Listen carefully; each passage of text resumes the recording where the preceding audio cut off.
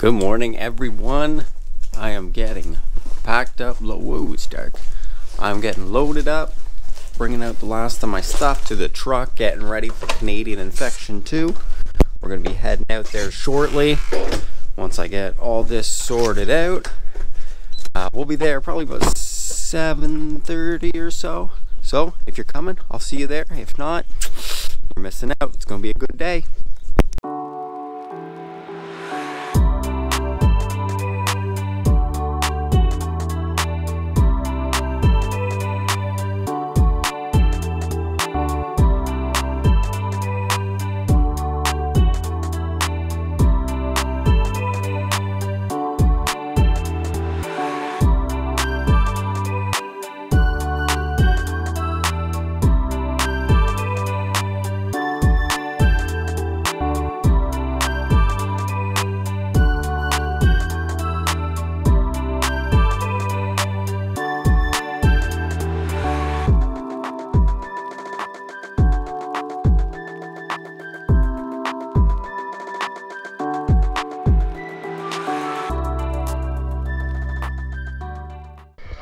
Go, go, go, go, go! Just watch!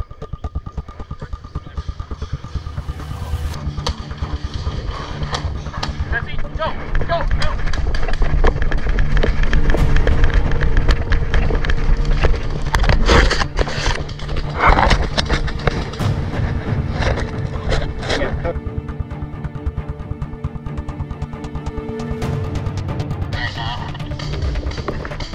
Now listen, once this timer goes right, you and Jesse are going to grab this crate, two man and back up.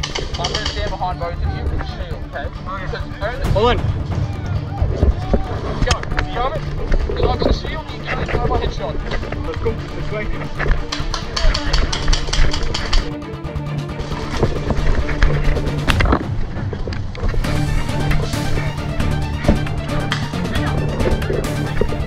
All right, we are home.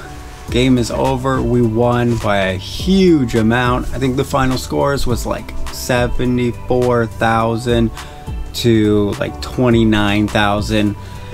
I definitely wanted to make an impression and leave my mark. There was a bit of smack talk before the game leading up to it, so we wanted to go out there and show them that we meant business. And that's exactly what we did. We made sure, I made sure missions got done. Even the General Pat was out on the field getting the missions done to make sure we secured that victory for our team. And our team put in an amazing effort. So thank you guys to all the teams that came out to support us for this game. Uh, I know the Animal Pack, the Shadow Squad, uh, the family, and so many other teams. The Northern Boys showed up again. I haven't got to play with them in quite some time. It was an awesome game. I'm working on the footage right now. Gonna get this up. Gonna get some shorts going for you guys. Hopefully, I got some good footage in there.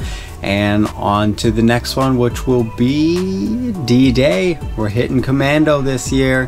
Hope to see you guys there.